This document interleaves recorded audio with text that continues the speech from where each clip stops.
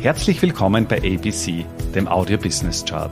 Mein Name ist Josef Oberganschnick. Ich bin Vollblutbörsianer und ein leidenschaftlicher Unternehmer. Als Gründer von Ecobono habe ich es mir zur Aufgabe gemacht, das Thema Finanzbildung in die Breite zu bringen und so Deutschland und Österreich aus dem Aktien- und Röschenschlaf zu befreien. Bei ABC, ein Podcast aus dem Podcast-Netzwerk von Christian Drastil, stelle ich deswegen Woche für Woche spannende Zahlen und Statistiken aus den Bereichen Finanzmarkt, Wirtschaft und Gesellschaft vor. Sportlergehälter sorgen häufig für heftigen Diskussionsstoff. Nicht nur am Stammtisch, sondern auch bei Gesprächen mit Kollegen oder im Freundeskreis. Besonders die unfassbar hohen Gehälter der absoluten Topstars sorgen immer wieder für Aufregen. Lionel Messi gehörte, wie wir im letzten ABC-Podcast auch ausführlich dargelegt haben, mit einem Gehalt von 130 Millionen Dollar in der Saison 2021 zum den absoluten Top-Verdienern und führte das Ranking vor LeBron James und Cristiano Ronaldo an. Mit dem WM-Titel kann man fast davon ausgehen, dass das Salär vom Lionel nochmal steigen wird. Bestimmende Sportarten sind hier Basketball und Fußball. Sieben der Top 10 kommen eben genau aus diesen Bereichen. Die Frage stellt sich aber auch, ja, was ist es, wenn ich es nicht zum Topstar schaffe? Wenn ich es zwar schaffe, in einer der renommiertesten Ligen dieser Welt Fuß zu fassen, ein Durchschnittsspieler bin, was immer noch unfassbar gut wäre, auf welches Jahressalär komme ich dort? Und hier ist es spannend, dass die NBA, also die National äh, nationale Basketballliga in Amerika mit 8,32 Millionen Dollar die absolut höchsten Durchschnittsgehälter bezahlt. In der NBA gibt es allerdings auch eine sehr große Schere der durchschnittlichen Gehälter. Wenn du beispielsweise bei den New York Knicks spielst, hast du durchschnittlich 7 Millionen Dollar. Wenn du im Gegensatz dazu bei Portland Train Blazers spielst, kommst du auf ein Jahressalär von durchschnittlich 10 Millionen Dollar. Etwas abgeschlagen dahinter ist ja, für mich absolut überraschend, die Indian Premier League, das ist eine Cricket-Liga, die durchschnittlich ihren Spielern 5,3 Millionen Dollar bezahlt. Also muss ich gestehen, war jetzt nicht wirklich auf meinem, auf meinem Radar. Und auf Platz 3 kommt die amerikanische Baseball-Liga MLB mit einem Salär von 4,03 Millionen durchschnittlich pro Spieler.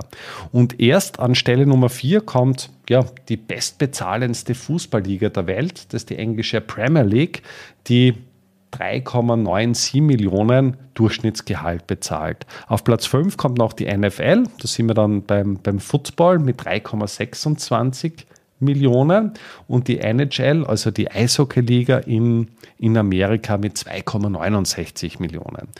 Und dann gibt es an und für sich nur mehr Fußballligen.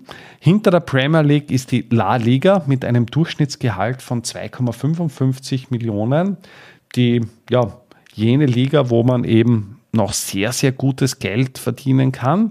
Dahinter kommt die Serie A und in der deutschen Bundesliga mit 1,98 Millionen Durchschnittsgehalt, ja, liegt man ungefähr auf der Hälfte im Vergleich zu, zu einem durchschnittlichen Premier League-Gehalt. Und in der, La Li, äh, in der Liga One, also in der französischen Liga, hat man ebenfalls noch ein Durchschnittsgehalt von 1,3 Millionen. Spannend ist es jetzt natürlich auch, wenn man sich die Frage stellt, ja, warum verdienen Sportler denn überhaupt so viel? Da ist es so, dass äh, eben viele Sportler nur eine sehr begrenzte ja, Berufslebensdauer im Sport haben.